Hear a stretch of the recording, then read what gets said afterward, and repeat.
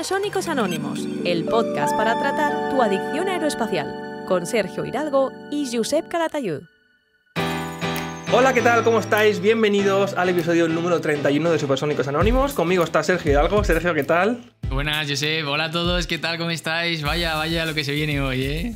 Bueno, tenemos que hablar un montón de cosas. Tenemos además un invitado que hacía tiempo que no traíamos a nadie al podcast y es un invitado que viene muy al, muy al caso porque eh, se acaba de confirmar que Elon Musk va a estar al cargo de un ministerio de el Ministerio de Eficiencia de Estados Unidos, eh, con las siglas de Dodge. Luego hablaremos de qué significa esto. Y esto podría dar eh, mucho poder a Elon Musk para empezar a recortar gastos eh, en, las administraciones públicas de Estados Unidos y, pues evidentemente, en el tema que nos eh, toca a nosotros en este podcast, que es el sector aeroespacial, Elon Musk podría meter tijeretazo a proyectos aeroespaciales como por ejemplo el SLS. El SLS es un cohete que está, se está desarrollando, que la NASA está desarrollando, para llevar a la cápsula Orión a la Luna, ¿vale? Vendría a ser más o menos como el Saturno 5 que llevó a la humanidad a la, a la superficie de la Luna en los años 69, 70, 71, 72. Y la cápsula Orión, que es la que va encima de este cohete, de este nuevo cohete de la NASA, el SLS, vendría a ser como el módulo de comando de las misiones Apolo. Básicamente es, mira, lo tengo por aquí además. Aquí arriba, no sé si la gente lo está viendo.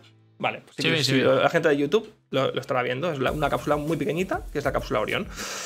Entonces, hoy eh, vamos, a, vamos a hablar de todo esto y, por supuesto, estamos a, es, un podcast especial, estamos publicando un sábado porque precisamente dentro de mm, dos días, este lunes 18 de noviembre, vamos a tener el esperadísimo IFT6, es decir, el sexto lanzamiento de Starship Super Heavy. Tenemos más novedades que contar, que todavía no hemos contado, y pues con todo esto vamos a hacer un podcast yo creo que muy redondo y que a la gente le puede gustar mucho. Así que muchas gracias a todos los que estáis aquí una semana más escuchando este podcast. Un agradecimiento especial a todos los miembros del canal por permitirnos eh, hacer, llevar este proyecto adelante. Muchas gracias también al patrocinador Orbital Boost Aerospace, que ya sabéis que están patrocinando eh, la temporada 2 de Supersónicos Anónimos. Y sin más preámbulos, eh, hostia, se me ha olvidado, Sergio. Em, ay, em, ay, ay, ¿qué te ha pasado a ti hoy, Josep? no, no, ya está, ya está, lo tengo, lo tengo, lo tengo. Eh, abrochad los cinturones, sellad bien los cascos, apretad la palanca de gases y comprobad los niveles de oxígeno, porque aquí comienza un programa más de Supersónicos Anónimos. Vamos a ello. Estás escuchando Supersónicos Anónimos con Sergio Hidalgo y Josep Calatayud. Atención, porque Elon Musk podría cancelar el SLS de la NASA, es decir, el cohete lunar con el que la NASA iba a ir a la Luna después de más de 50 años. Como ya os dijimos en el anterior podcast, eh, ahora que eh, Donald Trump ha ganado las elecciones y Elon Musk ah, le ha ayudado bastante a ganarlas y que le ha metido en el gobierno, se está rumoreando muy fuerte que el SLS se cancele, pero totalmente. O sea, en el anterior podcast os dijimos que quizás se cancelaban las siguientes versiones, la versión 1B, eh, la Block 2. No, no, no, no. O sea, se está rumoreando que se puede cancelar íntegramente el SLS. Esto no va a ser fácil, hay muchas empresas detrás, está Boeing, Lockheed Martin, empresas que son muy fuertes en Estados Unidos, pero eh, esto es una posibilidad muy, muy, muy real.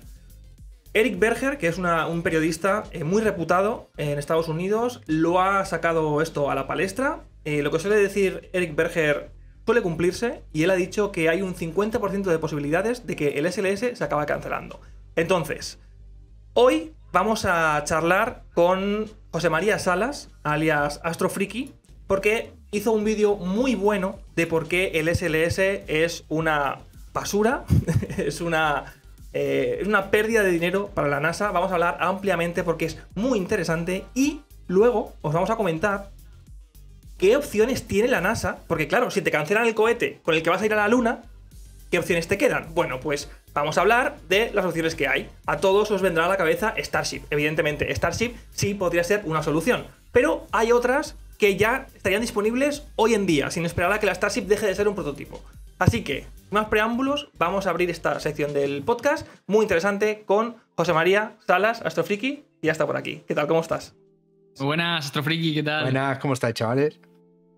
Pues con muchas ganas de que nos cuentes, porque, mm, a ver, tú hiciste un vídeo hace poco en tu canal, el de YouTube, Astrofriki, en el que eh, nos comentabas pues eh, todas las ineficiencias que tenía este cohete y de por qué sería muy buena idea que se cancelara.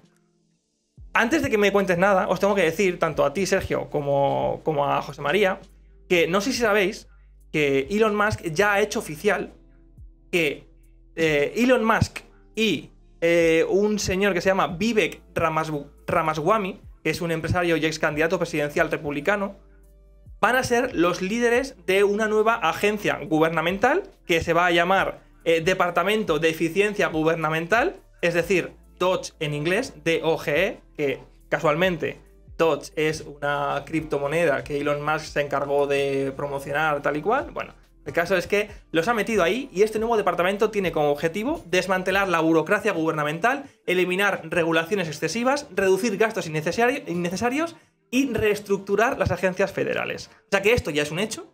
Y ahora, eh, Astrofriki, cuéntanos por qué una de las primeras cosas que tendrían que hacer sería cargarse ya definitivamente el SLS. Una, pequeña cosa antes de, antes de empezar. Eh, claro, no has dicho, Josep, qué es el SLS. Es posible que la mayoría lo sepan, pero eh, muy brevemente, para los que no lo sepan, simplemente el SLS es un cohete que ha estado desarrollando la NASA con ayuda de todas las empresas aeroespaciales de Estados Unidos para volver a la Luna con las misiones Artemis. Entonces es un cohete que no es reutilizable y por eso todo el mundo decía que iba a ser un, pues un proyecto que iban a hacer ya muerto. Y bueno, pues vamos, ¿ya, ya tenéis el contexto?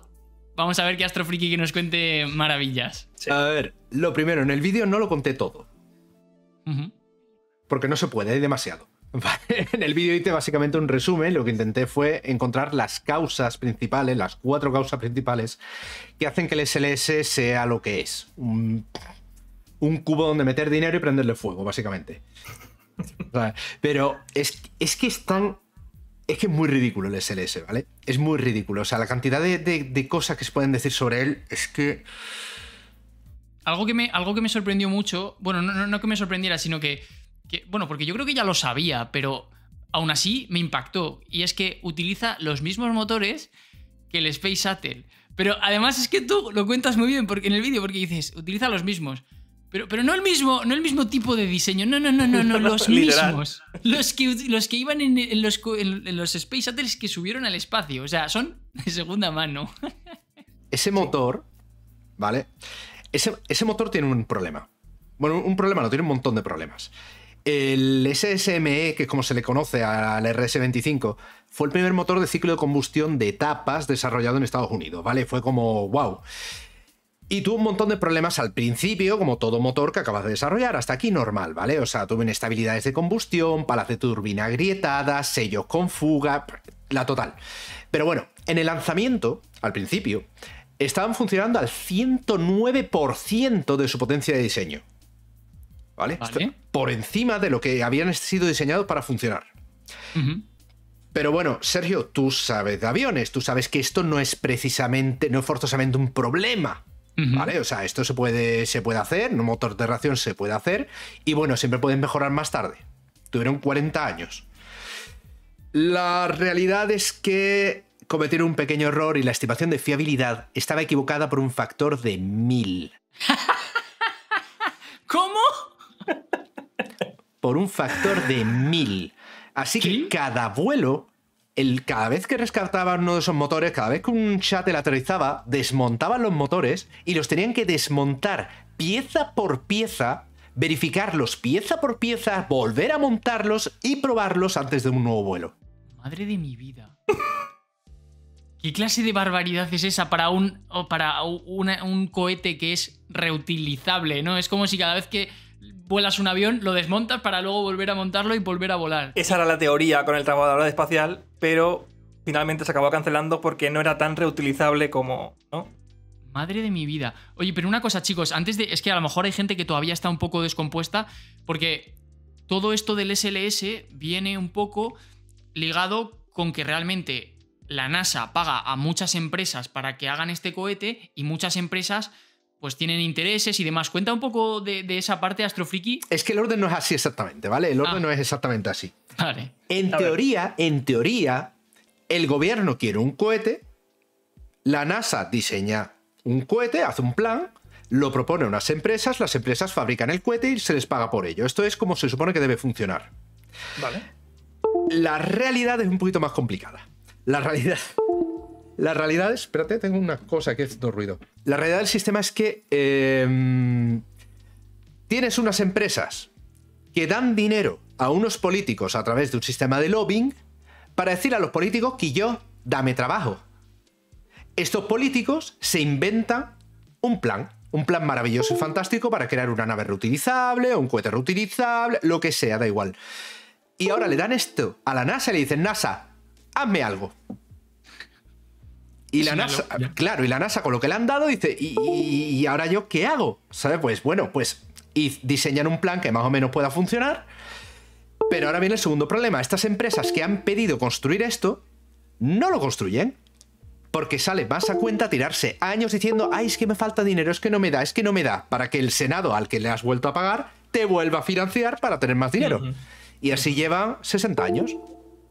Eh, dato que doy ahora y que quiero hablar contigo, Astrofriki, es, y que quiero jugar contigo también, Sergio, porque Sergio se- de vez en cuando me hace, me hace juegue- jueguecitos y me dice, Josep, ¿cuánto crees que cuesta o no sé qué? ¿Cuánto crees? Pues ahora voy, a- ahora voy yo. Sergio, te digo, el Falcon Heavy, ¿vale? Cuesta por lanzamiento 97 millones. ¿Cuánto crees que cuesta el SLS? Lanzarlo. Lo decía, creo que lo decía Astrofreaky en el vídeo, ahora no tengo el número en la cabeza, pero no, era, era órdenes de magnitud, o sea, era, era que podías lanzar no sé cuánto, bueno, no sé, no, lo- no lo sé, la verdad te diría Di, di. 97 millones, creo que eran 4.000 millones, ¿no? O por ahí. ¿Vale? Sí. O sea, Eh, son... José, ¿qué tienes que decir a eso? No son 4.000 millones. O sea, ¿Cuántos son? 4.000 millones sí que son te- teóricos. Pero Vale. hay trampita, ¿no? Ah, porque no se incluye ahí el precio del diseño, ¿no? Exacto. Mira, Exacto. Claro, que son... 100 Magia. mil Ojo, ojo. millones de dólares. ¿Cuánto? 100 mil millones de dólares. 100.000 millones de dólares por lanzamiento. No, por un lanzamiento, porque es lo que hemos tenido. Claro. Ya. Sergio, ¿tú sabes Ya. cómo funciona esto? Tú cuando Sí, calculas, tú cuando tienes que hacer el cálculo de cuánto te ha costado la fabricación de algo, tú no lo calculas por el número de, de unidades que tú has fabricado, lo calculas por el número, número de unidades que has vendido. Así que a día de hoy, con un único vuelo en su historial, el SLS ha costado 100.000 millones de dólares. Cuando tenga un segundo vuelo habrá costado solamente 50.000 millones de dólares. Claro, Madre mía. claro. Una cosa es que cuando, cuando ha dicho Astrofriki que, que las empresas pagan a los políticos para que luego estos les den trabajo, hay un ejemplo muy bueno y es que Boeing, eh, el otro día alguien lo puso en los comentarios y lo fui a chequear y es verdad, Boeing ha sido de las empresas o, o agencias o lo que sea que más han financiado a Trump, pero también de las que más han financiado Sí, a Kamala. Harris. Sí, sí, correcto. Lo vi. Increíble. Asegurándose, ¿eh? En plan, gane quien gane, yo quiero mis contratitos, ¿eh? Y Sergio, esto está más que demostrado porque hay un tema de transparencia de lobby, ¿vale? No me preguntes cómo funciona eso. Que en el que se dice que Boeing en- el año 2022, 2023, no me acuerdo qué año, había metido, creo que eran 17 millones de dólares en lobbying y ese año había conseguido 23 mil millones de dólares en contratos gubernamentales. Dios. Explica cómo funciona esto un poco, José María. O sea, cómo funciona esto de eh, cómo, la- cómo Boeing, por ejemplo, se asegura que le vayan a dar contratos. O sea, cómo funciona, por qué, por qué decimos eh, que la NASA está indefensa ante este tipo de acciones. Es porque esto es una pescadilla que se muerde la cola, ¿vale? Este proceso se ha descrito, esto no lo dije en el vídeo, este proceso, hay un político lo describió como que habían conseguido inventar el cono de helado que es capaz de lamerse a sí mismo. ¿Vale? eso un poco? Es que es. Eh, Boeing necesita trabajo. Voy a hablarlo claro. Voy a decir Boeing porque a día de hoy Boeing se ha comido a todas las demás empresas, las ha fagocitado y queda Boeing, Lockheed Martin y dos o tres pobres desgraciados al lado. Entonces, Boeing va a coger y va a decirle al, al congresista que represente a Alabama, porque Alabama es donde está el centro de, mm, el centro de vuelos espaciales habitados, ¿vale? ¿Vale? Entonces va a coger al congresista de Alabama y lo va a convencer de hasta qué punto sería interesante que Boeing tuviera trabajo, porque eso implica trabajo para el Estado, trabajo para la gente que vive en el Estado, impuestos, etcétera, etcétera, etcétera. Esa es la versión oficial, la extraoficial ya sabemos cómo funciona. Mm. ¿vale? Eh, entonces, Boyle, digamos que convence a este, a este congresista. Da la puñetera casualidad, mira tú por dónde, que este congresista de Alabama es el tipo que dirige la comisión que se ocupa de atribuir dinero a la NASA. ¡Qué bendita casualidad! Es el tío que dirige la comisión, es el tío que le dice a todos los demás, escúchame, vamos a hacerlo así. Mm. Es decir, el tipo que dice en qué puede gastarse dinero la NASA es el mismo tipo al que una empresa ha convencido en qué debe gastar dinero la NASA. Es que es una locura. Y, ahora te encuentras con la NASA ahí en medio, ¿vale? Por ejemplo, en el vídeo, cuando en los comentarios me han dicho que me han acusado de blanquear a la NASA, que la NASA tenía culpa en todo esto. ¿Vale? Entonces me gustaría hacer un pequeño, aprovechar la oportunidad Sí. para dar una- pequeña explicación sobre esto. Venga. Vamos a ver. La NASA se fundó hace una harta de años. Y la NASA básicamente se funda con una idea en mente y es la Luna, el programa Apolo. ¿Vale? El problema es que el programa Apolo acabó hace 50 años. Yo no sé vosotros, ¿vale? Pero hace 50 años mis padres ni se conocían, Sí, sí. Y eso terminó el programa Apolo. ¿vale? No empezó, terminó. Claro, terminó hace 50 años. Literalmente, no queda ni una sola persona trabajando en la NASA que conozca la manera de trabajar de la época. Y lo que ha hecho el puente entre, estas, entre ambas eras, entre la era Apolo y la era SLS, ha sido el Shuttle. Ese maravilloso proyecto donde ha empezado el lobbying y que, como explico en el vídeo, es una nave que fue diseñada por un puñetero comité político. Entonces, la gente que trabaja actualmente en la NASA fue contratada en una época en la que todo el sistema de lobbying ya estaba funcionando. Y la gente que se ha quedado en la NASA todo este tiempo, en lugar de irse a empresas privadas donde obviamente se paga más, es gente que, una de dos, o son incompetentes, lo saben, y saben que no sobrevivirían en la realidad de la industria, por lo que prefieren esconder la cabeza en una empresa pública, o son gente que lo único que quiere es un trabajo estable, una paguita a final de mes y que todo lo demás se la trae al pairo.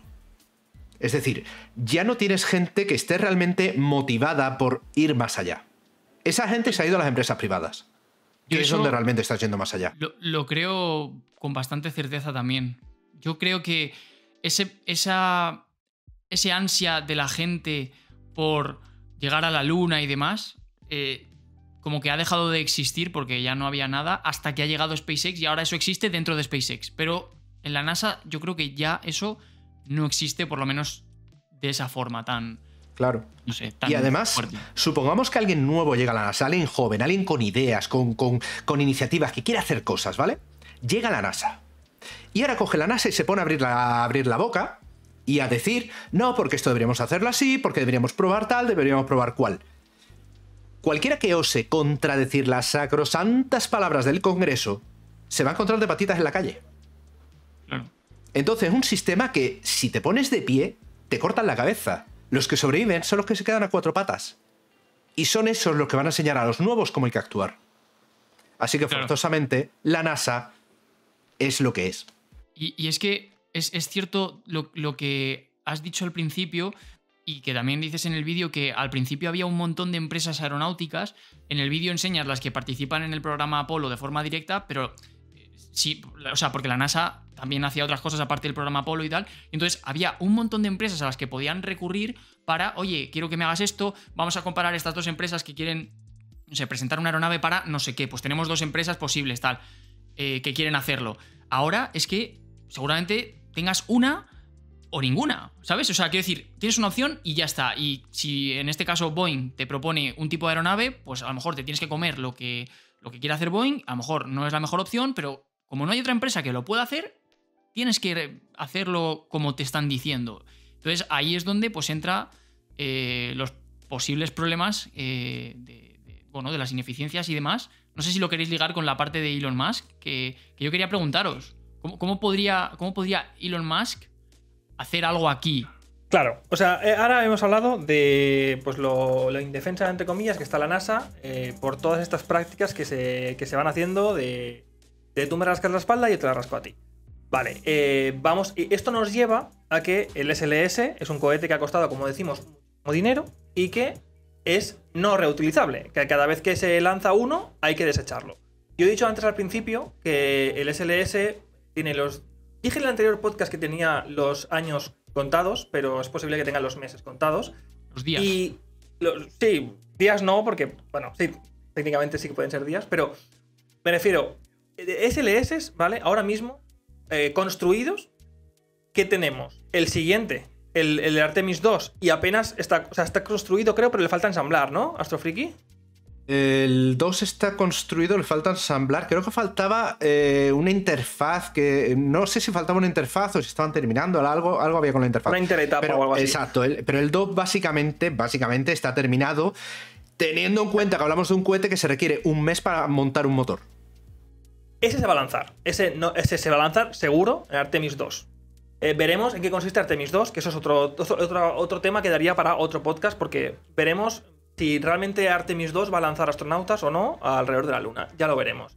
El caso es que, eh, más allá de Artemis 2, es posible que eh, ya se cancele el SLS. Así que vamos a, a la siguiente parte de esta charla con Astrofriki, que es cómo se podría cómo se podría eh, suplir al SLS. Así que, Juan, pon música y empezamos con la segunda parte.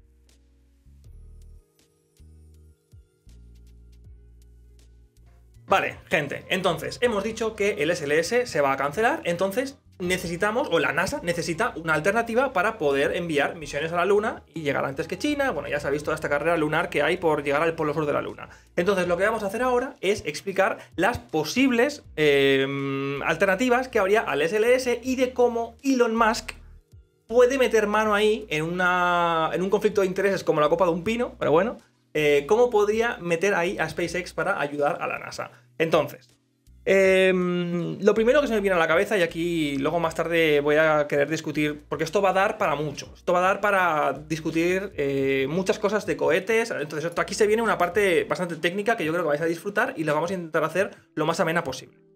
Lo primero que se nos viene a la cabeza, o a mí, que se me viene a la cabeza de cohetes actuales que puedan suplir al SLS, sería el primero de todos, este que estáis viendo aquí detrás, que es el Falcon Heavy de SpaceX. ¿Vale? Empezamos ya. Elon Musk ya tiene un cohete que teóricamente podría eh, enviar a la cápsula Orion a la Luna. Es un poco más complicado que esto. Porque el Falcon Heavy, incluso en su configuración más potente, es decir, con todas sus etapas desechadas, no tendría el suficiente delta V para enviar la cápsula Orion en una trayectoria directa hacia la Luna.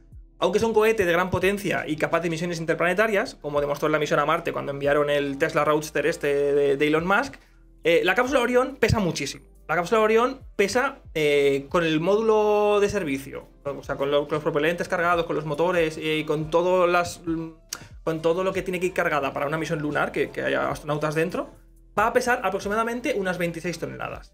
¿Vale? Quedaos con ese número, 26 toneladas. El Falcon 9, el, perdón, el Falcon Heavy, puede enviar a una órbita de inyección translu- translunar, que es básicamente una órbita en la que tú envías una nave a la Luna y luego ya eh, la nave se encarga de frenar y ponerse en órbita, ¿vale? Básicamente enviarla hacia la Luna. El Falcon Heavy puede enviar 10 toneladas versus las 26 que pesaría la nave Orión con su módulo de servicio, cargada de combustible, con astronautas dentro, con todo lo que tienen dentro de la cápsula. Entonces, es, en principio, eh, no podría eh, por sí solo el Falcon Heavy, pero se ha rumoreado. De hecho, Eric Berger es uno de los que lo. lo- no, Eric Berger no lo, no lo ha propuesto. Lo ha propuesto la gente en Twitter, lo he visto. Que eh, comentaban que el Falcon Heavy podría coger la etapa ICPS del SLS, de este, de este cohete que se ha cancelado. Este cohete arriba del todo tenía una etapa construida por, aquí ayúdame Astrofreaky, creo que es United Launch Alliance. No. Eh, sí, correcto, pero pienso una. cosa, el ICPS está cancelado. Claro, a eso voy, a eso voy. O sea, si el Falcon Heavy cogiera. Hay, hay fabricadas ahora como tres etapas ICPS, ¿no? Sí, algo así. es una etapa que, que está hecha, o sea, que utiliza hidrolox, ¿vale? Hidrógeno y oxígeno líquido, que es una mezcla bastante eficiente para poder ir a la Luna. Eh, tiene un alto. eh, ¿Cómo se dice? Un, un- Un ISP, un un- impulso específico. un impulso específico, no me salía, exacto. Eh, es, es interesante. Lo que pasa, que el Falcon Heavy teóricamente sí que podría enviar a, a la Luna a una nave Orión con el módulo de ICPS, le va muy justo, le va muy, muy, muy, muy justo. De hecho, el adaptador de interetapa se tendría que cambiar porque quizás no aguanta tanto peso. Pero bueno, teóricamente igual sí que se podría. De hecho, aquí Juan nos estará enseñando ahora a los de YouTube eh, una imagen de- del Falcon Heavy con la, etapa ICPS y tal. Eso Friki me dice que no. ¿Qué pasa? No puede. No puede. No puede. ¿Por qué? He estado, me he pasado media tarde con Ernest haciendo cálculos. Vale. El Falcon, nue- el Falcon Heavy no sería capaz de llevar todo el conjunto, todo ese tren lunar, vamos a llamarlo por su nombre, no podría llevar todo ese tren lunar a órbita directamente. ¿Vale? Es decir, la etapa ICPS tiene que ir en otro cohete. Vale, no podía enviarle a, a- o sea, ni a, ni a órbita eh, No, la Tierra, dice, ni a órbita baja terrestre. falta un elemento muy importante en ese tren. La torre ¿Qué? de escape. La Ya, torre de escape pesa bastante. pesa una barbaridad porque tiene lastres, incluso. Sí, pero, la- la- pero esa etapa, o sea, esa- ese sistema de escape de emergencia, esa torre se puede descartar antes de ponerte en órbita. Eh, Pero la una, tienes una que cosa, chicos. saldar con ella. Una es cosa, porque yo creo que habrá mucha gente que. Yo estoy un poco perdido, fuera de bromas. Entonces, a ver, no, no, no. Primero, eh, Josep, tú has dicho que el Falcon Heavy en su configuración de máximo alcance puede llegar hasta la Luna. Porque, para que la gente lo entienda, el Falcon Heavy es ese cohete de eh, SpaceX que tiene. Que son como tres cohetes y uno en el medio. ¿Vale? Mira, Josep, para los que estáis en YouTube, Josep lo, está enseñando. Entonces, ¿por qué dice en su configuración que más lejos llega? Porque todos estos cohetes son reutilizables. Entonces, esta configuración sería que todos los cohetes llevaran todo el combustible con el objetivo de eh, poner una carga en órbita, sin luego bajar a la Tierra y ser reutilizados. Por eso es esa configuración. Entonces, Josep, espera, espera, ya que lo tienes ahí, lo que, lo que estáis comentando ahora de meterle la etapa del, eh, del SLS, ¿dónde sería? Sería aquí arriba. ¿Qué dices? Claro. Eh, Pero eso- La, la pero- gente pero- ha visto, ha visto la- el render porque Juan lo ha puesto ahora en, en- en YouTube, que os lo voy a pasar. Y, y lo ha puesto. Y, y- y realmente es una aberración. O sea, yo tengo pesadillas. Yo tengo pesadillas porque en el Kerbal Space Program, que es este, este videojuego de, de construir cohetes y tal, yo he hecho cohetes así, de que tienes una, una carga útil e- enorme, o sea, tienes una, una cofia enorme con un peso tremendo, el centro de masas te queda muy arriba en el cohete y eso da muchísimos problemas, Sí. básicamente. ¿no? Vale, sí, pero, pero asumiendo que eso lo pudieran solventar, tal, no sé qué, vale. Pero luego encima tenemos el problema de que eh, nos está diciendo José María que no se podría. Sí, no se podría. Que igualmente no tiene, no tiene potencia. Vale, entonces, no es una opción, ¿no? Parece que el Falcon Heavy no es una opción para esto. Desgraciadamente, a ver, sí es una opción. El Falcon Heavy, de hecho, es la opción. Vale. ¿Vale? Es prácticamente. Vamos a ver, a día de hoy solamente hay tres cohetes que pudieran hacer esto, ¿vale? Serían el Falcon Heavy, Starship y el New Glenn. Son los tres únicos cohetes del mundo que serían capaces de hacerlo. Ni siquiera el, el Ariane 6 tampoco, ni siquiera podría. o sea, eh, No, no, no, no le da. Entonces, Falcon Heavy es capaz de poner Orión y, la, y el módulo europeo en órbita. Eso no es un problema, lo puede hacer. Pero no tiene En órbita terrestre, en órbita baja terrestre. En órbita baja terrestre. Pero le falta potencia para poner también el ICPS. El ICPS habría que ponerlo con una. que Básicamente, el ICPS, para el que lo entienda, es básicamente una etapa extra para hacer la inyección translunar, para darle la velocidad suficiente para ir hacia, hacia la luna, ¿vale? A ver, mira, va- voy a explicar esto ya que estamos. Espérate. Esta capsulita de aquí. A ver, esta capsulita de aquí con este módulo sería el equivalente de Artemis, ¿vale? Se- tendrías la Sí. cápsula Orión y el módulo europeo. Vale. Entonces, lo que nos falta es esta etapa. Vale. Astrofriki, para los que nos están escuchando en el podcast, ha sacado eh, la, la cápsula tripulada de las misiones Apolo con su módulo de servicio. Y ahora está sacando la. eh, LS4C. El S4C, que es La tercera, La tercera etapa del Saturno V. V. Ujú. Esta etapa es la que hacía en las misiones Apolo, esta es la que hacía el- la inyección translunar, ¿vale? Y esto es lo que nos falta aquí, nos falta un algo, un bicho, Claro. que le meta la patada a la cápsula para ponerla en dirección hacia la Luna. Eso es. Esto Vale, es lo vale. que nos falta. Entonces, hemos dicho que el Falcon Heavy teóricamente. pod- Bueno, no, no podría, por sí solo no podría. Podría y solo hay esto. tres. Exacto, podría poner eso, pero estamos buscando ahora cohetes que pudieran, eh, que pudieran suplir eh, con un solo cohete al, al SLS. Básicamente, como ha dicho Astrofriki, sería el, la Starship, el New Glenn de Blue Origin y, El Falcon Heavy. y el Falcon Heavy, pero que hemos dicho que no, que no se puede. A Que ver, no puede. hablamos de que puedan poner esto en órbita. Claro, que no es lo que, que no es lo que quería. Ah, no, no, pero. no, no, momento, no, pero yo hablo de poner. la- no, no. Yo hablo de poner una. de poner a la Orión en la Luna directamente usando solo un cohete. Solo tendríamos la Starship y el New Glenn. Tampoco. ¿Por qué? El New Glenn tampoco podría hacerlo. Vale. No tiene. O sea, solo tenemos. O sea, la- es que lo eh, ya te digo, con Ernest nos hemos pasado un rato dándole vueltas a esto, ¿vale? Y, y hemos estado mirando arquitecturas, qué se podría tirar, qué se podría no. Y al final, lo único que hemos llegado a la conclusión última que hemos llegado es el ICPS directamente lo hemos ignorado porque, puesto que está, mm, está anulado, quedan tres, no es una solución a largo plazo. Es decir, la solución ahora mismo es simple: coge dos Falcon 9, en uno lanzas la cápsula, en el otro lanzas el ICPS y que se encuentren en órbita y hagan. Vale. Vale. Ya está. Vale. Vale, entonces, hemos dicho, mm, el Falcon Heavy no es capaz de poner por sí mismo a la Orión en la Luna. Por tanto, no va a poder suplir el Falcon Heavy por sí mismo al SLS a menos que hagas varios lanzamientos de un Falcon Heavy. Que esto es a lo que vamos ahora. Es decir, solo hay un cohete en el mundo en la actualidad ahora mismo que pueda suplir al SLS, que es básicamente la Starship. Es colocarle la, la parte de arriba del SLS a la Starship y enviarlo directamente a la Luna. Eh, eso podrías hacerlo. Bueno, obviamente repostando la Starship en órbita, como ya sabemos que eh, SpaceX está diseñando la Starship para que sea eh, rellenable en órbita. Entonces, dejando la Starship de un lado, ¿qué, nos quedaría? Nos quedaría usar, como hemos dicho, el Falcon Heavy lanzando una cápsula Orión a órbita baja terrestre y luego lanzar otro Falcon Heavy que llevara una etapa auxiliar, como es la, la- la- una parecida al ICPS de la que estamos hablando, básicamente una etapa que tenga su combustible y un motor para luego en órbita baja terrestre acoplarse a la Orión y entonces ya irse a la Luna, que eso sería pues complicado, al final estás usando varios lanzamientos, estás complicando la misión, o usar un Falcon Heavy más el New Glenn. ¿No, Astrofriki? Por ejemplo.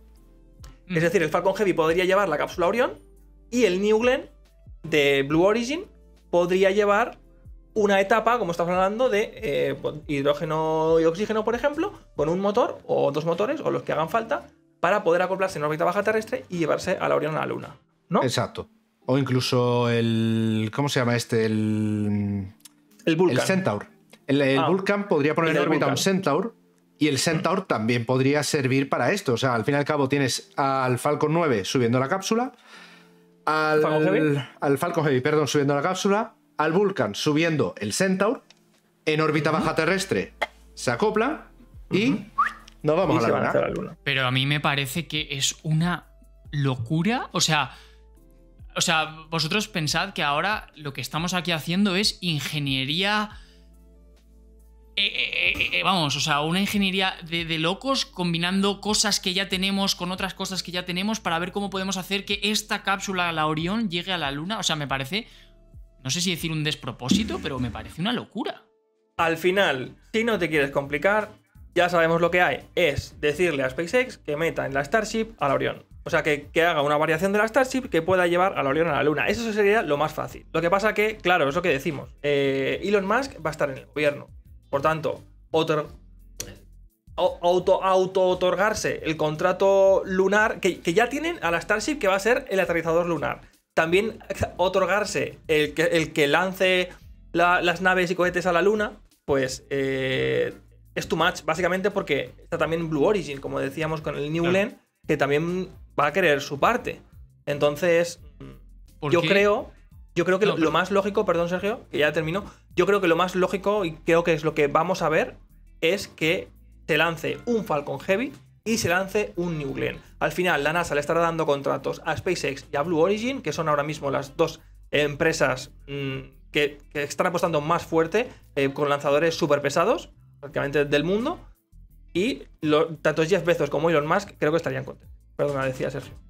Eh, te iba a decir, ¿po- ¿por qué tanto interés con que vaya a la Orión? ¿Por qué no simplemente una Starship? Esa es la gran, Esa es gran la pregunta. pregunta. Gracias.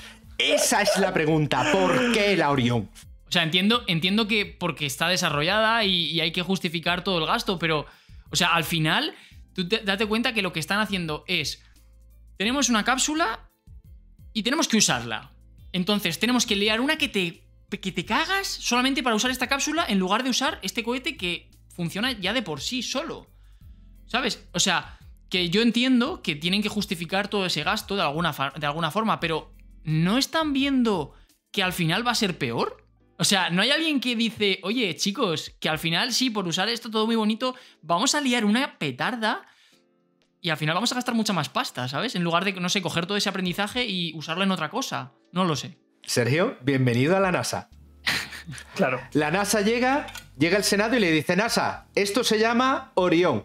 Esto se llama SLS. Llévame a la Luna con esto. Ya está. Sí, sí. Y la NASA dice, no, pero es que tengo un problema, que esto es muy pesado y esto es muy chico. Búscate la vida.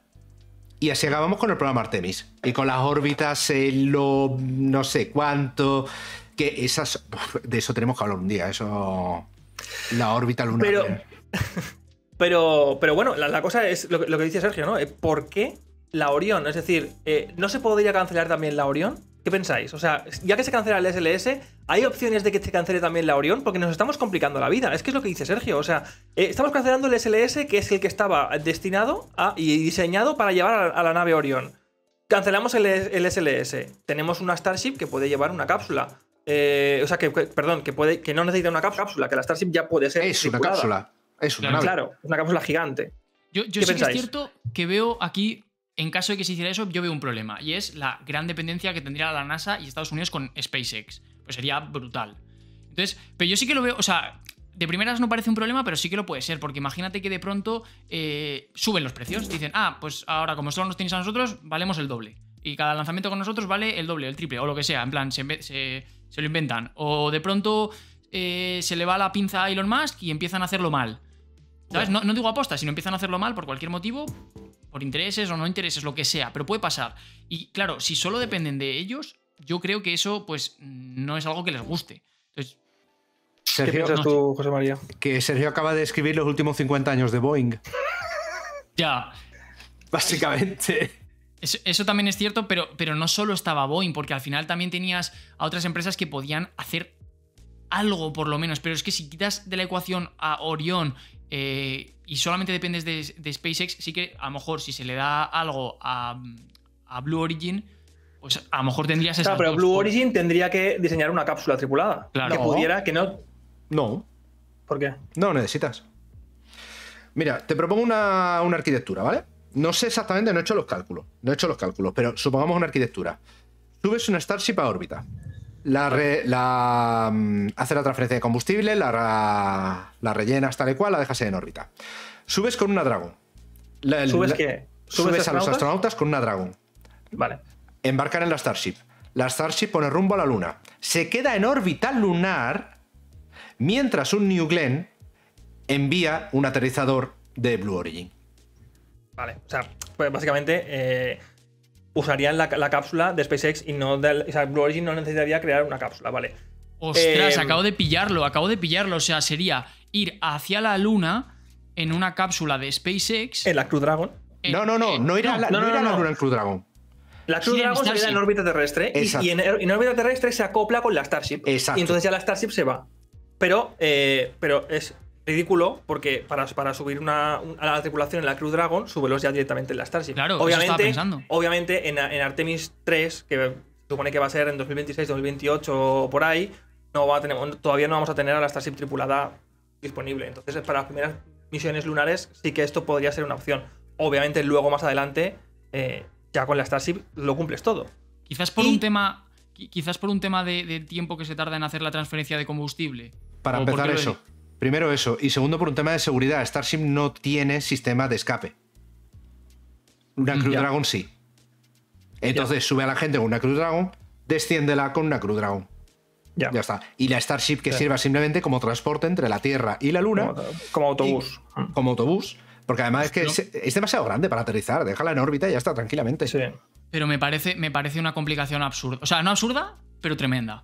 Porque, claro, o sea, al final, qué locura lo que se ha complicado el programa. eh, por, bueno, que ya, ya nacía siendo complicado por el tema del SLS, pero ahora al, suplim- al suprimirlo, se- es que se te queda un. Se complica todo, claro. Van a tener que buscarse alternativas. Y Claro. una posible alternativa podría ser la Starliner. vale, No no, hace falta que respondáis. No hace falta que respondáis. Eh, Astrofriki, eh, estamos ya casi terminando, pero eh, hemos, hablabas en el, en el vídeo que, que hiciste de- del SLS y que recomendamos a toda la audiencia que se lo vea porque es muy, muy interesante. Cuentas una cosa que, que claro, esto de, de uti- utilizar, de no utilizar el SLS y utilizar el Falcon Heavy para llevar a la Orión a la Luna, que ya hemos hablado de que en principio no es muy buena, no es muy viable, pero esto ya se lo planteó Jim Bernstein, que es el antiguo director de la NASA, que estaba con la primera presidencia de Donald Trump. Esto Jim Bernstein ya lo, ya lo propuso y casi se lo cargan por haber decidido eh, hacer algo sin el SLS, ¿no? Cuéntanos eso. Correcto. Eh, Jim Bernstein, cuando estuvo, cuando fue el, cuando fue el administrador de la NASA, que era el que estaba antes del actual, eh, durante la administración Trump, Jim Bernstein propuso utilizar el Falcon, el Falcon Heavy para subir la, mm, la, cápsula Orión a órbita baja terrestre en lugar de utilizar el SLS que aún no estaba listo, porque es que, claro, no dejaban de retrasar algo que era realmente sencillo de hacer en su momento. Y entonces lo que él propuso era, era eso, decir, vamos a ver, hemos dicho que vamos a poner la cápsula, que vamos a ir a la Luna en tal fecha, vale, pues vamos a ir a tal fecha. Vamos a usar el Falcon 9 para el Falcon Heavy para subir a órbita baja terrestre y a partir de ahí ya desarrollamos todo el plan. Y entonces tenemos a un personaje al que vamos a llamar Darth Shelby, que es este famoso congresista de Alabama, que gracias a Dios se ha jubilado. El señor Shelby, ¿no? ¿Cómo se llama? señor Shelby. Eh, creo que era Richard. Richard Shelby. Gracias a Dios ha jubilado ese hombre, porque vaya, vaya, vaya elemento. ¿Qué pasó? este, hombre, es que este tío es el que gestiona el presupuesto de la NASA. Es la persona de la que estaba hablando antes, que gestiona ah, la pasta de la NASA. Y quien gestiona la pasta de la NASA, del programa habitado de la NASA, es la persona que gestiona el estado de Alabama que es donde está todo el programa. lo, que he dicho antes, la pescadilla se muerde la cola. Entonces, este tío se lo llevaban los demonios. Se lo llevaban los demonios, porque de repente aparece este tío que le está diciendo, en realidad, este cohete que estamos haciendo no vale para nada y podríamos simplemente cancelarlo y pasar, de, pasar del tema y utilizar eh, un Falcon Heavy. Que es mucho más eso barato. Eso, es lo que dijo Jim Bernstein. Básicamente eso es lo que el, el señor Shelby le cogió, cogió el teléfono, llamó a Jim y le dijo... Ven pa' acá, pa' acá. esto, esto que dices de cancelar el SLS no me ha gustado nada. Y le dijo literalmente, como no utilices el SLS, yo voy a retirar todo el dinero del programa Artemis. No, básicamente dijo, eh, dimite, tienes que dimitir. Y de hecho, la única razón por la que... A ver, esto es una historia extraña, ¿vale? Pero básicamente la única razón por la que Bridenstine conservó el puesto fue porque el, vicepresidente de Trump, que no recuerdo el nombre, intervino por él.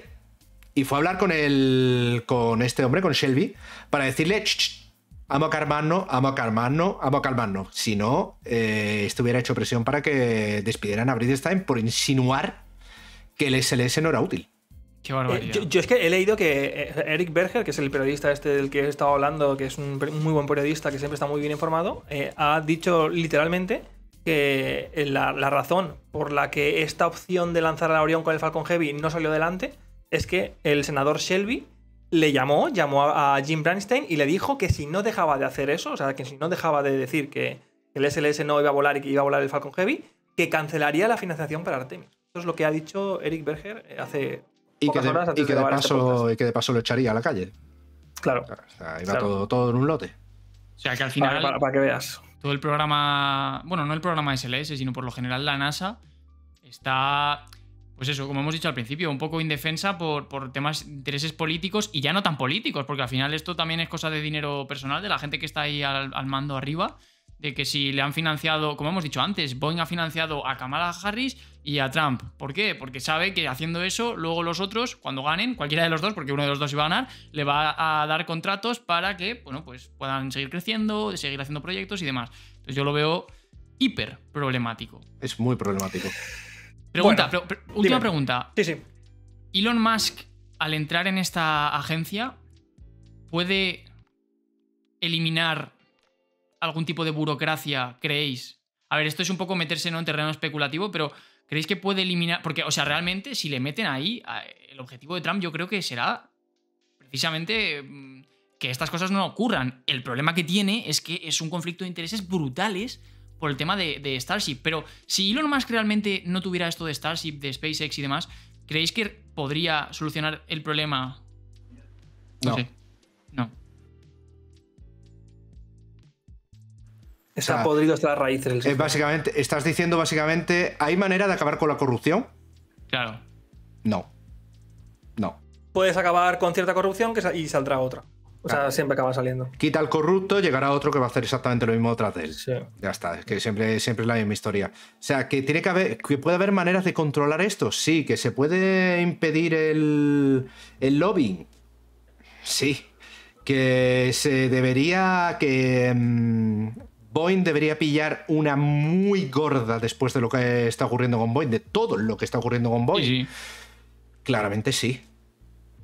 Pero no puedes acabar con, el, con, ese- con este sistema, con este lado que se lame a sí mismo. Mm.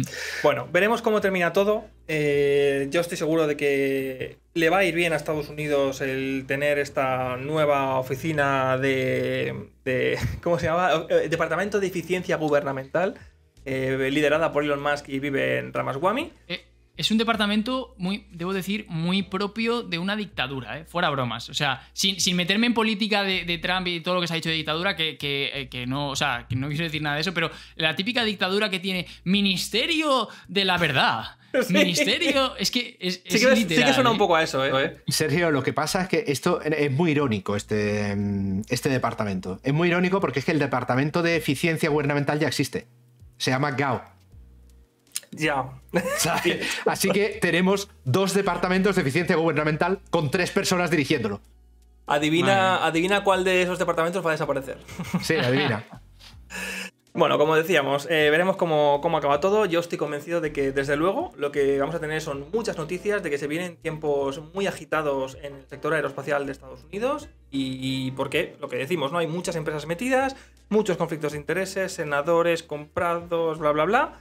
Veremos cómo termina. Eh, Astrofriki, ha sido un placer tenerte, pero antes de, de despedirte, quiero que nos hables de los próximos proyectos en mente, porque nos ha gustado mucho este último vídeo que has hecho y sé que tienes preparados ya algo interesante. Cuéntanos. Pues yo soy un. Soy muy partidario de aprender del pasado para no repetir los errores en el futuro. ¿De acuerdo? Entonces, por eso por lo que hice en su momento la serie sobre Saturno 5, pero visto que no basta con eso, voy a ir más allá. Y lo que inicio ahora, que además lo quiero iniciar en, en diciembre si, si se alinean los astros, es hacer una serie completa sobre el programa Saturno. O sea, sobre el, El programa programa Apolo, Apolo. perdón. En el que voy a explicar todo el hardware, obviamente, o sea, la cápsula, módulo de, módulo de servicio, ordenadores, cómo funcionaba, cómo funciona esa maldita memoria de, de cuerda que me, que me- que me está trabando el coco. Voy a describir cada una de las misiones que se efectuaron, cuáles eran sus objetivos, cuál, qué es lo que lograron, qué es lo que no, qué ocurrió en esas misiones, porque en todas ocurrieron cosas chulas. Y, y no sé hasta dónde voy a llevarlo. Y además va a ser a- va a ser una. Voy a hacerlo a dos niveles. Va a estar el nivel normal, el nivel de me apetece saber cosas sobre el programa Apolo, ves los Vale. vídeos. Pero luego Básicamente, algunos de los vídeos van a tener un segundo vídeo asociado que estará en mi canal secundario, donde vamos a llevar el friquismo al extremo. Esos son los buenos. Vale, Porque esos son los buenos. yo eh, me parece muy bien que haya gente que quiera saber que presionando un botón se salvó al Apolo 12 cuando le cayó un rayo. Presionando un botón se consiguió resetear toda la unidad de todo el cuadro de instrumento y que la misión se pudo llevar a cabo gracias a resetear un botón misterioso, ¿vale? Pero también hay gente que quiere saber dónde estaba ese botón, a qué circuito eléctrico estaba conectado, de- a qué estaba asociado, por qué hizo como hizo.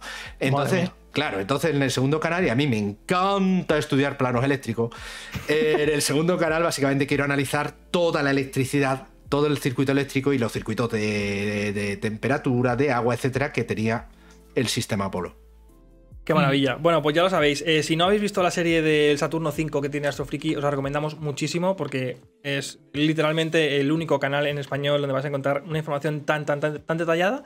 Y estoy convencido de que, de que tendrás también muchos éxitos con, esta, con estos nuevos vídeos que, que creo que son muy necesarios para la gente que, que nos gusta realmente entrar en detalles. Y me mola también que hayas hecho una versión como para gente más random o más, que, más casual que, que se pueda también en- introducir en estos, en estos mundillos. José María, nada más. eh, encantados de haberte tenido por aquí y nos, seguro que nos veremos más adelante. A vosotros por invitarme. podcast. Muchas gracias. Que vaya muy Bueno, Venga, hasta bien. ahora. Adiós. Chao. Chao. Chao.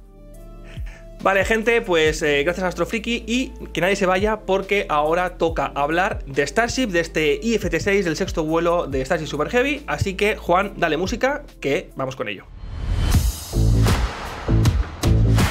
Estás escuchando Supersónicos Anónimos, un podcast que, como decía Sergio, es una absoluta locura, con Sergio Hidalgo y Josep Calatayud.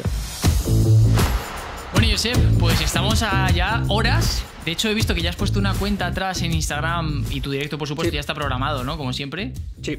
Porque, porque bueno, el lunes eh, ya es el lanzamiento sexto de, de Starship, que tú dijiste que probablemente sea uno de los más aburridos, y es cierto, pero tenemos actualizaciones que comentar. Tú me has dicho que, que sabes alguna cosilla más, así Sí. que, bueno, si te parece... Bueno, a lo mejor podríamos, antes de, antes de ir con las actualizaciones, Sí. decir lo nuevo, que ya lo dijimos en el anterior, pero por si acaso hubiera alguien que se le ha olvidado lo que sea, ¿qué es lo nuevo importantísimo que van a hacer en este lanzamiento? Sí, o sea, la verdad es que este IFT6 puede parecer que es un poco más aburrido porque no hay nada nuevo, pero esto está totalmente alejado de la realidad. O sea, hay cosas muy importantes que se van a probar por, por primera vez. Eh, en primer lugar, este va a ser el último vuelo de las Starships versión 1. O sea, Cierto. ya nos vamos a despedir ya de las Starships. Yo, de hecho, yo tengo aquí el modelo que siempre enseño en los directos y tal. Bueno, pues esto ya se termina para siempre. Voy a tener que imprimir otro modelo. Porque los nuevos modelos de Starship, pues, eh, de versión 2, van a tener unos tanques de combustible un poco más, grandes, van a tener los, los alerones, ya sabéis, como más eh, retraídos hacia atrás para que no estén tan expuestos al flujo de, de la reentrada atmosférica, van a ser también un poquito más pequeños y tienen muchas eh, actualizaciones tanto de software como de hardware. Vale, eh, pero vamos eh, específicamente a este sexto vuelo de Starship, que lo más importante va a ser que SpaceX va a tener que demostrar que son capaces de encender un motor Raptor en el espacio. Algo que no es nada fácil, encender un motor en el espacio es una de las cosas más complicadas que tiene siempre un cohete, la segunda etapa de un cohete, y SpaceX es la primera vez que va a intentar encender un Raptor en el espacio. O sea, este motor Raptor ha sido un motor diseñado por SpaceX única y exclusivamente para ir en las eh, naves Starship y cohetes super heavies. Y nunca lo han intentado encender en el espacio. Y hay muchas probabilidades de que no lo consigan hacer, porque cuando se hace una cosa por primera vez, es cierto que es SpaceX y, y, y a, a veces lo consiguen a la primera, pero bueno, hay opciones de que pues, no se consiga. No pasaría nada tampoco, porque para eso están estas pruebas. De hecho, el, el- el Raptor es un motor que es conocido por dar muchos problemas en los encendidos, precisamente. Que cuando los, en los primeros lanzamientos seguramente os acordaréis de que fallaban, que no se encendían y demás. Entonces, Eso es. es crítico, ¿no?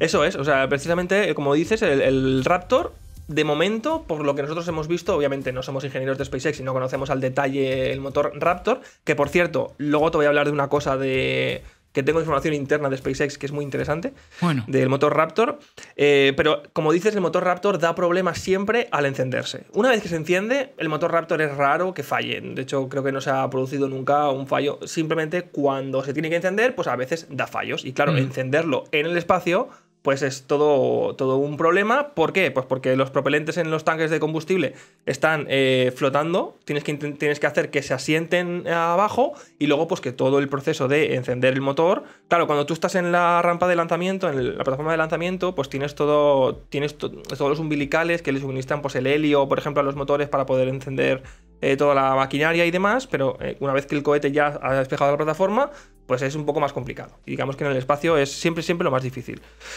Eso va a ser muy importante. ¿Y por qué es importante esta prueba? Pues porque si lo consiguen, eh, SpaceX habrá demostrado que son capaces de desorbitar la Starship. Porque claro, uno de los problemas más gordos que tienen es que si no eres capaz de desorbitar controladamente la Starship, al ser una nave tan grande, es posible que caigan trozos muy grandes en cualquier parte del mundo. Y pues, se puede marcar un China, por ejemplo. ¿Sabes? Claro, eso sería un problema. Y bueno, imagínate con la FAA, con la de problemas que les da a SpaceX, si, si pasa eso, mm, la Starship Super Heavy no vuela en un año seguro hasta que, hasta que hagan un informe y todo eso. Entonces eso, eso es importante. Y claro, una vez que consigan y que demuestren que son capaces de encender un motor Raptor en el espacio, ya podrán ir, eh, ya podrán poner a la Starship no en una trayectoria suborbital, que es como está yen- yendo ahora, que despega desde Starbase, desde, eh, desde Texas, y, da, no, no llega a dar una vuelta a la Tierra, sino que hace una trayectoria suborbital, pues como una parábola, ¿no? Y acaba cayendo en, el Océano Índico, frente a las costas de, Australia. Pues si consiguen encender este motor, ya podrán hacer un, una órbita entera, o sea, podrán ponerse en órbita, que es básicamente, pues... eh, no caer, a menos que, bueno, caerían al cabo de un tiempo, pero básicamente no caer hasta que SpaceX quieran caer, que es encendiendo el motor Raptor en dirección contraria. Vale, eh, ¿qué más? El lanzamiento va a ser de día, esto ya creo que lo dijimos en el anterior lanzamiento. Esto se va a muy ver- importante. Se va a ver ambos sitios de día, que es una cosa que no pasaba eh, con la reentrada de la Starship, porque siempre era de noche en las costas cercanas a Australia, eso es. Exacto. Y eso va a ser guay también para nosotros porque, como sabemos, va a haber una boya. Va a haber una boya eh, al lado de, de donde va a caer Starship. Que esto fue una de las sorpresas que nos trajeron SpaceX en el anterior lanzamiento. Y esta vez la boya va a tener muy buena visibilidad porque va a ser de día. Entonces vamos a ver cómo cae la Starship desde el cielo, amerizando en el agua. Vamos a ver cómo se sumerge en el agua. Bueno, eso va a ser, va a ser la leche, ¿eh? Sí. Y luego, hay muchas cosas, por ejemplo, que salieron mal durante el anterior lanzamiento de Starship. Eh, yo he preparado ya las infografías para, sabes que siempre al inicio de los directos pues hago como una serie de infografías, como unos PowerPoints, donde voy explicando pues qué tiene de nuevo este lanzamiento para que si hay alguien que está totalmente desconectado de cómo fue el anterior lanzamiento y cómo va a ir este, pues les pongo un poco al día. Y pues eh, estuve investigando exactamente todo lo que salió mal durante el anterior lanzamiento y pues hay cositas. Y si te parece, eh, vamos a empezar por la que creo que es más evidente, porque es la que comenté también en el vídeo análisis que hice después del lanzamiento, que es, ya te acordarás, el tema de las toberas deformadas. ¿Te Sí. acuerdas? Las toberas deformadas del Super Heavy. Eh, vimos que cuando el Super Heavy caía del cielo, eh, yendo hacia la plataforma, las toberas de los motores, las toberas de los motores son la- es la parte en forma de campana del motor, que es la que recoge los gases, estaban como deformadas, no tenían la forma cilíndrica, sino que esta- estaban como, pues eso, con superficie curvada. Y esto también lo comentó Elon Musk en un tweet y dijo que era pues por el flujo supersónico de, todo el aire, el Super Heavy estaba cayendo de- de- de- después de su reentrada atmosférica hacia la plataforma a una velocidad pues, supersónica, más, más rápida que el sonido, y todo ese flujo de aire empezó a deformar las toberas que ya estaban calientes debido a esa reentrada atmosférica. Vale, entonces dijimos, bueno, esta solución es muy fácil porque simplemente lo que tienen que hacer es que esas toberas de los motores externos se refrigeren durante la reentrada. ¿Te acuerdas que lo dijimos esto? Sí. Vale. Eh, y esto solucionaría el problema porque al no calentarse las toberas porque están refrigeradas por los propios propelentes del, del motor, pues eh, ya no se calientan, ya el, el- el metal no, tiene, no tiende a deformarse con cualquier eh, flujo supersónico que le llegue. Vale. ¿Cómo te queda? Si te digo que el otro día hablé con, sabes que tengo algunos contactos que de personas que están bastante dentro de SpaceX o que tienen familiares dentro y que hablan con ellos y tal. Y que, ¿cómo te queda si te digo que el motor Raptor no tiene capacidad para refrigerar las toberas si el motor no está encendido? Ostras. Piensa bien lo ver. que te acabo de decir. O sea, mm, me parece. O sea, no lo habían pensado que pudiera pasar algo similar eh, en ninguna circunstancia, claro. Uf. Pero esto tiene más implicaciones que no, no se están ocurriendo ahora. Y es que eh, si el motor Raptor no se puede refrigerar las toberas cuando no está encendido, ¿por qué solo los anillo- el anillo externo de motores fueron los que, los que fueron afectados por esta deformación? Porque cuando el Super Heavy estaba cayendo del cielo, no tenía ningún motor encendido. Por tanto, ninguna de las toberas estaba refrigerándose. Y sin embargo, solo las toberas del exterior acabaron siendo eh, deformadas. Las de los anillos internos del Super Heavy no estaban deformadas. Ostras, es verdad.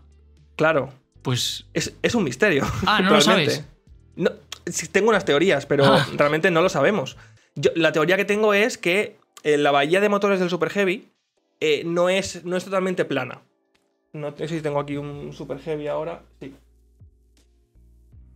Vale, para los que estéis en Spotify o en cualquier otra plataforma, bueno, pues estamos ahora mismo viendo. eh, viéndolo en persona. Bueno, en persona Sí. no. Eh, es que est- estas cosas al final se explican mucho mejor con una mera imagen. Entonces, por eso. Sí, voy a intentar eh, explicarlo para la gente que nos escucha a modo Sí. podcast. Lo que estoy enseñando ahora es un modelo del Super Heavy que tengo impreso en 3D y estoy enseñando la bahía de motores, ¿vale? Con los 33 motores Raptor. Eh, aquí tampoco se va a ver muy bien porque el modelo no es totalmente preciso, pero lo que la gente se tiene que imaginar es que eh, si yo pongo el cohete de, de perfil, ¿vale? Lo que estamos viendo en el modelo es que el corte es totalmente recto, ¿vale? Esto no, esto no realmente no es así en el Super Heavy, sino que tiene una forma, la valla de motores tiene una forma eh, convexa, es decir, que hace como una curva, de manera que los motores que están en el centro eh, están como un poquito más salidos, más sobresalidos que los motores que están en el, en el exterior. Esto que hace que el, flujo de la reentrada eh, empiece, empiece a impactar primero en los motores del centro y luego se expanda hacia los, los, del lateral, por, la propia forma convexa que tiene el, eh, la bahía de motores. Y entonces esta puede ser la teoría por, el, por, la que los motores externos han sido los que se han deformado más, porque el, flujo supersónico les llegaba mucho más a ellos que a los motores del centro. No sé, no soy un experto en, estas cosas. Eh, yo creo que. No sé si esto. Yo, esto sí que. Eh, porque al final estos son temas de ondas de choque y demás, y esto yo sí que lo he estudiado mucho en la carrera y todo esto. Lo que sí que es cierto que eh, es posible que al estar más en la parte de fuera, porque lo que nos tenemos que imaginar es que la onda de choque que está produciendo el, Super Heavy cuando está cayendo no está pegada a, los, a, las toberas, o sea, no está la onda pegada, sino que está un poco por delante la onda de choque.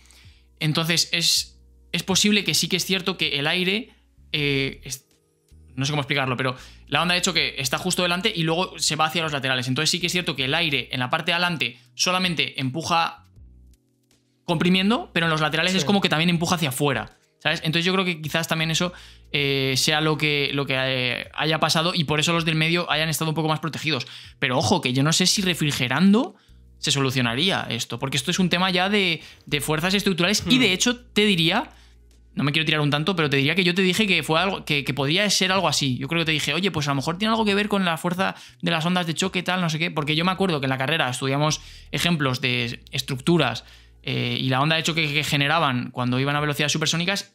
Y al final, por ejemplo, el, command module, el módulo de comando de la cápsula Apolo, pues hacía, hacía esto. Cuando hace la reentrada, la onda de choque está despegada y entonces se puede apreciar un comportamiento similar del aire. Pero claro, nunca con unos motores eh, ahí. Y de hecho, si no estoy equivocado, el Falcon 9 enciende los motores cuando está reentrando precisamente para, para protegerse de esto.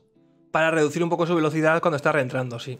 Claro, sí. pero yo creo que también. pero luego no, ¿eh? Luego cuando una vez. O sea, solo se enciende cuando está como a 45, 50 kilómetros de altura, pero luego no. O sea, luego desde esos 50 kilómetros hasta abajo, prácticamente que sigue siendo supersónico, no están encendidos. Ya.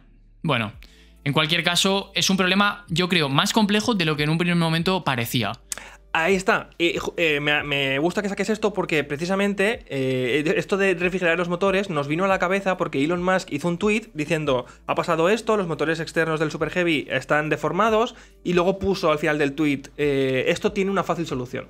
Entonces dijimos, ah, bueno, esto es porque no estaban refrigerados, seguramente pues simplemente los refrigeras. De hecho, yo lo que dije en el vídeo y ya está. Pero claro, al conocer que es que no se pueden refrigerar los motores Raptor cuando no están encendidos, tú no puedes hacer simplemente ahora cambiar el motor y decir, no, pues ahora vamos a poner que sí que se puedan refrigerar cuando están encendidos. O sea, no, eso no funciona así. O sea, es cambiar el, motor Raptor. La gente tiene que entender que es uno de los motores más complejos que hay. Eh, bueno, yo creo que es el motor más complejo que se ha diseñado nunca en la historia de la humanidad. Es un motor único en su tipo, que básicamente eh, es un full flow, es decir, que tiene que todo el, todo el metano y todo el oxígeno se utiliza para impulsar el cohete no se pierde ni nada de combustible en hacer funcionar el motor, ¿vale? Para que la gente lo pueda entender. Es el único motor que ha volado eh, nunca que es, que, es de este tipo. Y es un motor muy complejo. Entonces, eh, añadirle mm, es intentar modificarlo, eso no es una cosa que se haga en una semana, ni muchísimo menos. Eso son eh, meses y meses, incluso años de pruebas. Acabas, acabas, cambiando por completo el motor y termina por ser otro. O sea. Claro.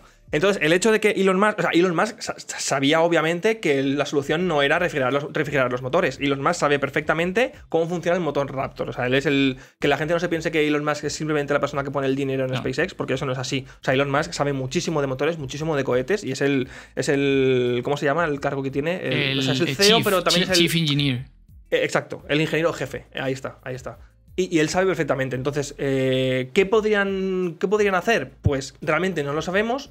Eh, yo he estado hablando con la persona esta que tiene contactos dentro de SpaceX y me ha dicho que esperamos un ligero cambio de trayectoria en el Super Heavy.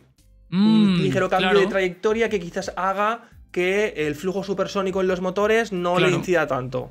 No sé si esto lo va a solucionar o no, supongo que tampoco lo saben desde SpaceX. Y em, también había otra solución que se estaba barajando, que se me ha olvidado ahora mismo. Ah, muy bien. Esa es la mejor. Qué suerte que no trabajo en SpaceX.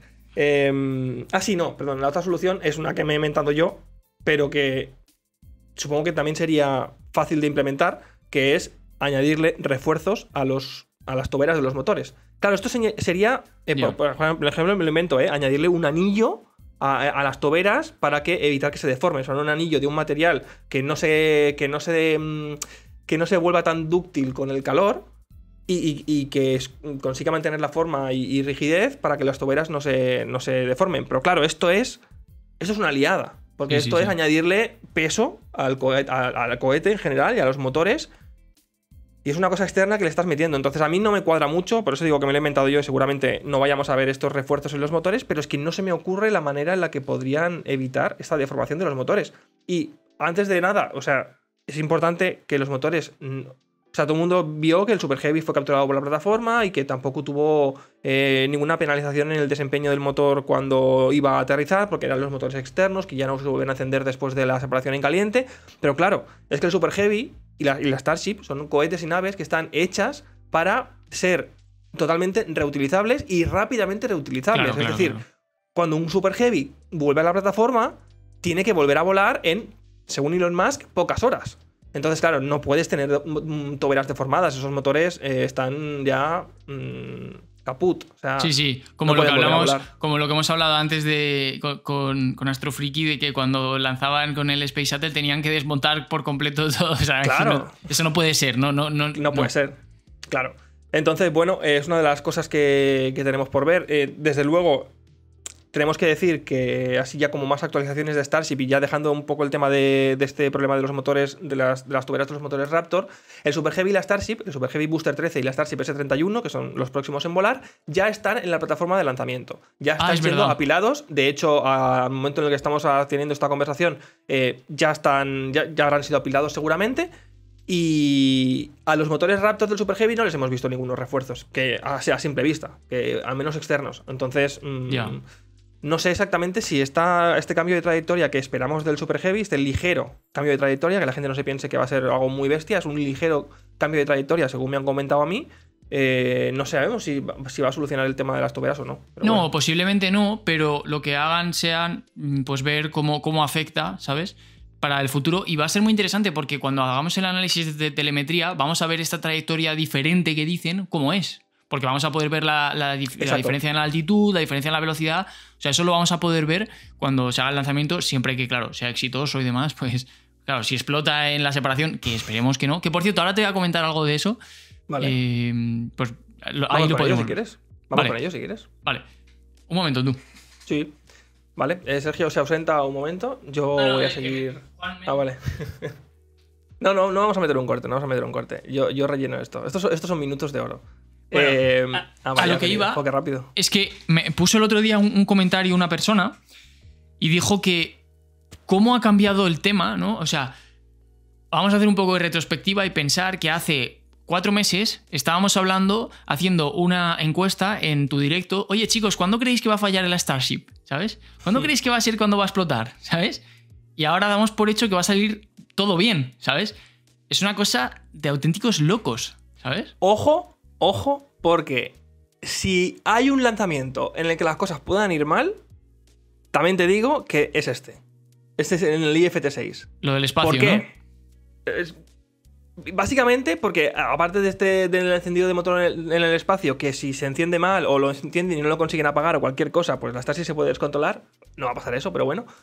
Hay otra cosa muy importante, y es que eh, en este vuelo la gente se tiene que dar con la idea de que SpaceX estos prototipos, la Starship versión 1, ya hemos dicho que volaba por última vez, eh, ya, no va a ya no va a volar más. Entonces, lo que quiere SpaceX en este vuelo es llevar al límite a los dos prototipos, ver cuáles son sus límites, ver hasta dónde pueden llegar para poder conocer así mejor su diseño. Entonces, lo que van a hacer es, bueno, ya lo, hemos explicado, Starship tiene el escudo térmico lateral eh, quitado, o sea, le ha quitado las losetas de, mm, del ah, lateral de, de, Starship, Todas estas están quitadas de cara a poder añadirle en un futuro estos ganchos que tiene también el Super Heavy para anclarse a los brazos de la plataforma para poder ser capturada. Y aparte, pues que si tienes losetas por ahí, cuando cierras los brazos de la plataforma, eh, en la Starship, pues podrías romper losetas, que evidentemente pues no, no- no es bueno. Entonces le han quitado todas todas esas losetas. Y además, durante la reentrada han dicho que van a ser un poco más agresivos en la reentrada. Es decir, que Starship, eh, ahora lo estoy enseñando eh, para los de YouTube, Starship, imaginaos que entra con un ángulo así, es decir, mm, no totalmente horizontal al flujo de- de- del plasma, o sea, el flujo de... no sé cómo decirlo, tío, de... Sí, el- la, la atmósfera, el aire. de la atmósfera, ¿vale? Entra así. Vale, pues ahora lo que van a hacer es que entre mucho más horizontal para eh, frenar más rápido y exponer mu- a mucho más calor al escudo térmico de, de Starship para ver realmente hasta dónde puede aguantar. Porque no solo van a probar eh, este, esta reducción del escudo térmico, sino que por debajo de las losetas también ha dicho SpaceX que tienen nuevas pruebas con nuevos materiales de protección térmica secundarios. Es decir, que si fallan losetas, detrás, debajo de las losetas, les han- le han puesto pues, nuevos materiales ablativos o lo que hayan pensado para ver cómo resisten a cuando las losetas se, se desprendan. bueno. Porque, evidentemente, cuando, con una reentrada más agresiva, es posible que la Starship no sobreviva a la reentrada. De hecho, una cosa que hemos visto ahora, justo cuando estaban apilando ayer la, la Starship del Super Heavy, es que eh, aquí en la punta, en la punta de. En la punta de Starship, en la parte de arriba, en el escudo térmico, aquí le faltan cuatro losetas. Cuatro losetas en la- una de las partes que más calor se lleva durante la reentrada atmosférica.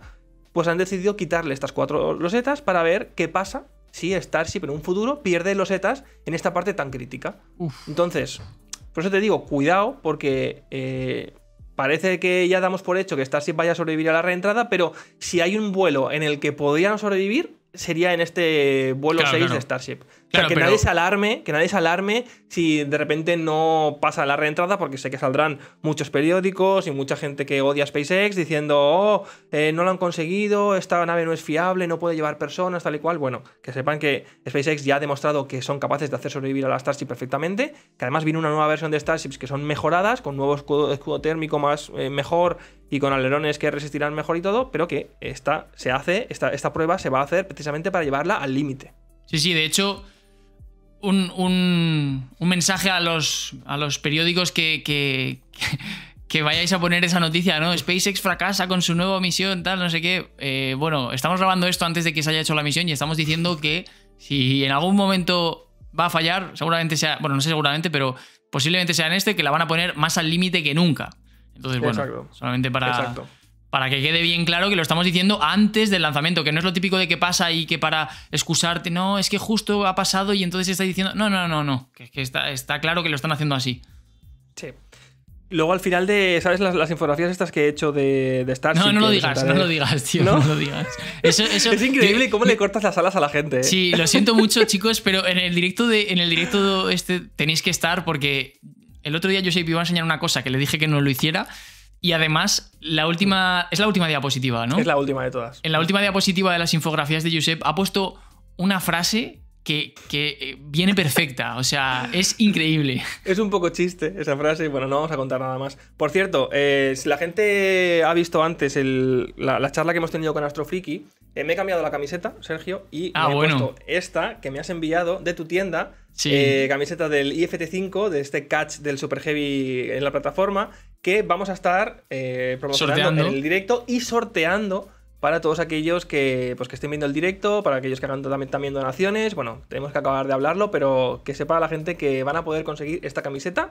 De, que además mola, mola muchísimo, que te doy las gracias por pasármela, porque de hecho Nah, voy a hacer el directo con ella, ¿eh? Voy a hacer el directo con ella, me, me gusta mucho. Me la tengo que comprar, me la tengo que comprar yo también porque, vamos, tengo que ir. De hecho, por, por- por mitad de la calle con eso, ¿sabes? Hay los que te miren así medio, ¿sabes? Como que lo miran. Es como, soy de los tuyos, tío. Claro, ¿sabes? claro, claro, eso mola un montón, eso mola un montón. Porque la comunidad que tenemos eh, es como muy de, o sea, hablemos eh, claramente, o sea, la, la gran inmensa parte de la población tiene ni idea, perdón, uf, esto lo tienes que cortar, Juan, no tiene ni idea de cohetes ni de tal, tú le dices Starship y te dicen, ah, sí, bueno, es que a veces seguramente no sepan ni lo que es la Starship, que nos parece raro a nosotros porque estamos muy metidos, pero es, así. Entonces cuando ves a alguien por la calle que realmente mm, sabe, es como, oh, Tú Sí. eres de los míos, ¿sabes?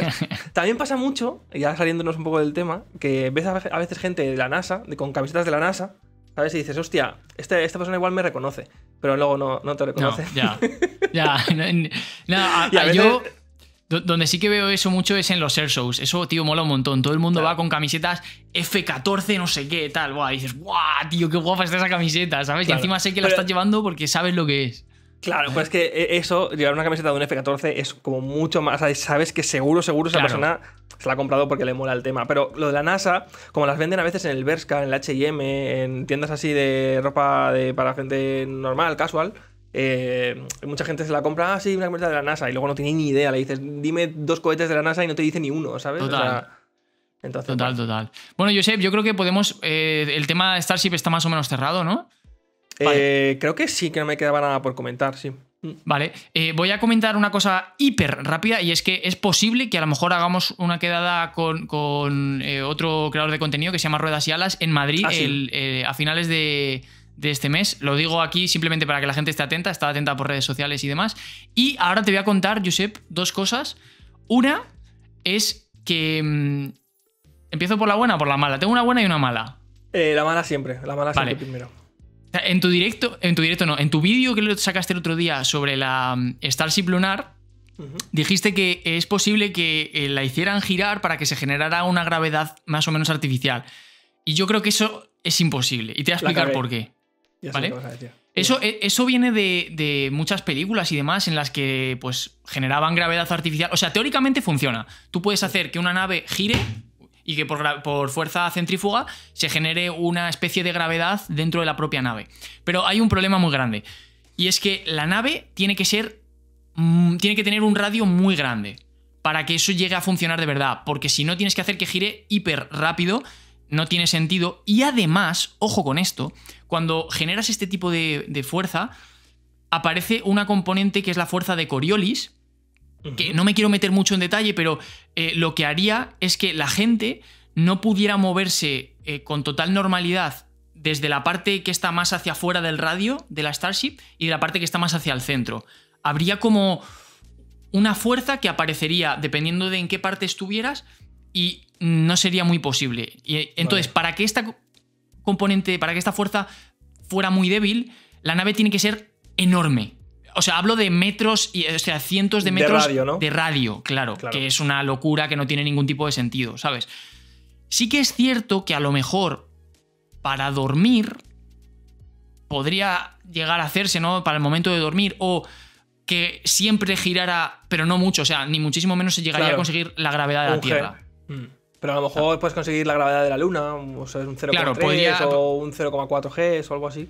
Eso se pueden hacer números. Los iba a hacer y se me ha olvidado, macho. Lo- a ver si para el siguiente Para el lo siguiente. hago, porque es Eh, muy déjame, fácil. déjame explicar un poco lo que estamos comentando, porque a lo mejor la gente no ha visto mi vídeo de, de la Starship Lunar. Es un vídeo en el que eh, hemos conocido, gracias a una persona que estuvo dentro del prototipo que tiene SpaceX en, en Starbase, de, de la Starship Lunar, que están ahí, pues, eh, tienen, tiene como la parte de arriba de Starship y, las- están haciendo, pues, todo el tema del soporte vital, todo el tema del diseñando el interior de la Starship, básicamente.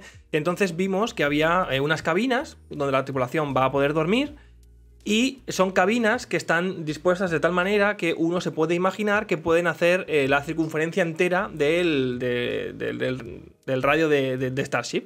Entonces, yo en el vídeo me inventé, y de hecho en el vídeo dijo, di- dije, esto me lo estoy inventando, pero Sí, sí, sí, eh, podrían hacer girar esta parte, este anillo de Starship para generar gravedad artificial. Pero como bien está diciendo Sergio, el radio es, es grande el de Starship, pero es, es pequeño en comparación con lo que se necesitaría para poder generar gravedad artificial de forma que no causara problemas. ¿no? Claro, eso es, justo. Pues en Bueno, el pues próximo podcast hacemos cálculos y miramos cuánto tendría que ser el, el radio. Que otra cosa que se podría hacer, que esto sí que se ha planteado y sí que sería posible, es en lugar de tener una Starship que sea el, el anillo el que gire, tener una Starship conectada a otra Starship con un centro de Ah. masas en el centro y entonces girar, porque ya lo que estás haciendo es girar ah, con un punto de masa, o sea, con un punto de giro que está lejos de la Starship, está ya casi en el espacio, puedes hacerlo Sí. todo lo largo que, que quieras. Exacto, o sea, ahí lo que estarías es como creando ficticiamente un radio de tu nave. Es como si estás haciendo. Es, es muy curiosa esa idea, la verdad, no la había pensado Mm. nunca. Estás como haciendo una nave muy grande, pero en realidad no, solamente tienes una nave en un sitio muy pequeñito, pero tienes un radio muy grande, que es lo que comentábamos, ¿sabes? Ahí está. sí, sí. Entonces, bueno, te voy a contar, Josep, la, la otra cosa, y es que a- Vale. ayer, no sé si fue, no, ayer no, fue hace un par de días que te dije, oye, Josep, te tengo que decir eh, una cosa que dijo Trump en su anterior mandato a, a Ah, Kim sí. Jong-un. A ver. Es que, A ver. esto es gracioso, pero es un tema serio, ¿vale? No sé si os recordáis cuando llegó Trump a la presidencia en, en la última, la o sea, la anterior vez, la cosa estaba muy mal con Corea del Norte. De hecho, la gente hablaba de Tercera Guerra Mundial. Cuando llegó Trump, la Sí. gente decía, ¡buah! Tercera Guerra ya, no sé qué. Porque Sí. parecía, pare- de verdad lo parecía, ¿eh? Bueno, pues afortunadamente no pasó nada, pero en una de estas al principio, Kim Jong-un le dijo a Trump algo como, ¿vale? O sea, estoy diciéndolo aquí más o menos según lo que recuerdo. Fue algo como, cuidado porque tengo un botón rojo muy potente o algo así. Sí. Y Trump le respondió, cuidado tú porque mi botón rojo es más grande y funciona. Madre, madre. Sí, ¿Qué, sí, sí. qué no le tienes que decir a alguien para evitar el conflicto? Eso. Bueno, pues, eso. pues, pues no, afortunadamente no pasó nada y esperemos que, que siga sin pasar nada eh, en este mandato también que va a empezar ahora Trump. Madre mía, tío. Madre mía. Vale, eh, Sergio, pues llegamos aquí al final del, del episodio. Por supuesto, nos queda la parte exclusiva para miembros en la que vamos a charlar de cositas nuestras. Y nada más que agradecer a todos que hayáis llegado hasta el final, que, que estamos muy agradecidos de todo el apoyo que está teniendo el podcast, que estamos creciendo bastante en esta segunda temporada, que es justo Sí. lo que queríamos. Y, y nada, Sergio, despídete y nos vemos la Sí, semana nada, que viene. eh, recordaros que el próximo episodio vamos a intentar sacarlo justo después del lanzamiento, analizando pues un poquito, o sea, justo después me refiero a un par de días después. Obviamente no lo vamos a hacer justo en cuanto acabe el episodio, eso no tiene sentido. Pero eh, pues sí, un par de días después para poder contar pues lo que, lo que se ha podido ver, lo que no eh, y demás, alguna noticia que pueda aparecer también. Así que si el lanzamiento se hace el lunes, porque yo todavía tengo en la cabeza la posibilidad de que se pueda retrasar, entonces si el lanzamiento se realiza el lunes, que seguramente sí, Ups, bueno, tenemos que decir que ha habido un cambio de última hora mientras Josep y Sergio grababan el podcast. El lanzamiento de Starship se ha pospuesto 24 horas y va a ser el martes 19 a la misma hora, es decir, 22 UTC. eh, pues lo podríamos grabar, por ejemplo, el martes e intentar publicar el miércoles, algo así, ¿no? Sí, fechas para fechas para si no se lanza el lunes sería martes y miércoles. Ya tienen ahí cerradas las carreteras para martes y miércoles, o sea que si no es el lunes será el martes, si no es el martes será el miércoles. Vale. Cuando lancen Starship. ¿Vale? Y ya simplemente recordarle a la gente eh, este tema de, de los miembros del canal que, que nos permite poder eh, seguir adelante con este proyecto, que sé que a muchos os gusta. Tan solo por eh, el- la membresía más barata que tenemos, es la, la más bajita, es la de Subsónicos, que son eh, por 2 dólares, creo, 2 euros realmente son. Son un poquito menos sí. dólares, uno- 1,70 dólares o algo así. Sí, es como si nos Eh, invitaran a un café a cada uno, ¿sabes? Sí, básicamente por, por esa pequeña cantidad eh, vosotros estáis haciendo posible, y realmente es así, o sea, estáis haciendo posible eh, que podamos seguir haciendo este podcast. Así que si os, ¿cómo se dice? Os, em, Sí, ¿no? Que, os que- invitamos a, a- a reconsiderar, a considerar, eh, pues ayudarnos y convertiros en miembros y así accedéis también a, a- a contenido exclusivo como es el que vamos a grabar dentro de unos segunditos. Eso es. Así que nada, Así que nada, nos despedimos eh, de vosotros. Muchísimas gracias. Esperemos que salga todo muy bien en el lanzamiento de Starship. Y nos vemos en el próximo episodio. sí, ya la próxima vez que nos veamos se habrá lanzado la Starship seguramente. Así que